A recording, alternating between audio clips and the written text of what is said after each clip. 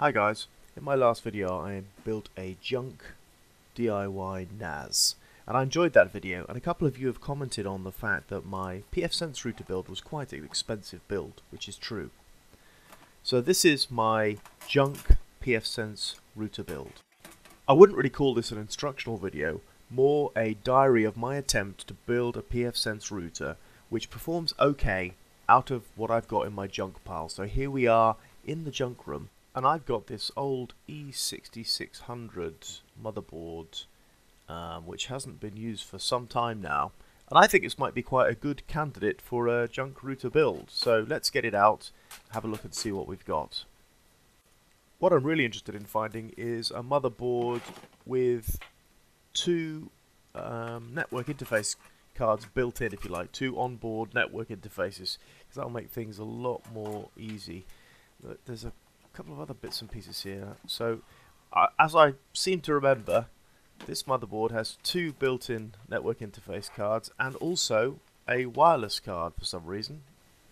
So I've got the motherboard set up on the side of the kitchen here, connected by DVI to the kitchen TV. You can see the two network ports there and also this little wireless card that's built into the motherboard.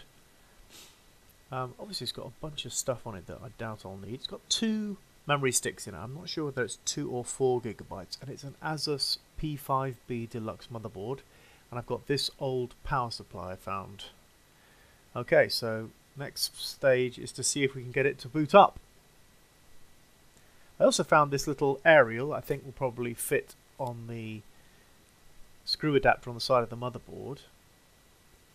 And I've connected it up to the power supply now and we are ready to go. At this stage, all I'm trying to do is get something on the screen to see if the motherboard's still alive, because I genuinely don't know whether this motherboard is still even workable. Now that is something, but flashing red light writing is not normally the best sign in the world, so uh, I'm going to have to go back to the drawing board for a minute. So I'm encountering a few setbacks here. Uh, my idea of installing the operating system on a memory stick is probably not going to work because this motherboard won't boot from USB and um, I'm having a lot of problems getting the motherboard into the BIOS. This is what you get with old crappy junk legacy hardware and trying to work out uh, all of the wrinkles and problems. So this is progress here. You see on the screen it looks like the motherboard is alive but I'm having trouble getting it to remember its BIOS settings. I eventually solved the CMOS problem by changing out the battery on the motherboard, which uh, took me a little while to work out. Here's a couple of old hard disks that I'm going to use. My plan now, because I can't boot from USB, is to check out these hard disks, get rid of the USB stick, use an old CD-ROM, and boot from the CD-ROM and install to the hard disks the pfSense operating system. This USB CD-ROM drive completely useless, of course, because you can't boot from that either. And here's me with the hard disk plugged in and connected to the power supply that you saw earlier. And this was pretty much the end of day one. I'd solved the problem with the video, um, I'd solved the problem with the motherboard CMOS, but I still wasn't able to get the motherboard to boot properly and I wasn't able to get anything intelligent on the screen, so I gave up.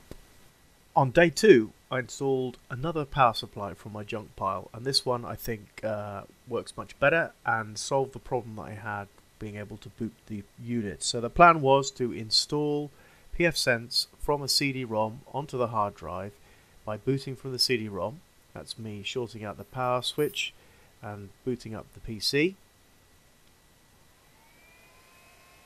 It sounds like it's working. With that problem solved, though, I couldn't get past this uh, bootloader on the CD, the supposedly bootable pfSense image that I got in my CD-ROM drive. I just could not get it to make any progress, so have to come up with a different plan. And the new plan is to give up on trying to boot into an install disk on my motherboard, go back to my main PC and install the embedded Nano BSD version of pfSense on my hard disk using a Win32 utility. And therefore I'd be plugging in a hard drive with the pfSense image already installed on it. And miraculously this seems to have worked and here's a greatly speeded up video of the pfSense install and the first visible sign of the pfSense kind of root menu available from the VGA output of the motherboard that we've been looking at all this time. And this menu here really tells you that your system is up and that your pfSense router is available through the web interface for access and configuration. So it's basically job done at this stage. So it's been a little bit of a painful process getting here with all this junk that I've been using, but just goes to show that you can do it if you've got the time and patience to do it, and for free. The real test, of course, is whether it actually will work as a router. So this is a test that I ran where I connected it to my incoming internet um, ISP, connected over PPOE, and um, used the router in its rather stripped down form to provide internet access to my network, and it works great. What we'll do is we'll have a look at it and um, go into the web interface and see whether it's working as expected.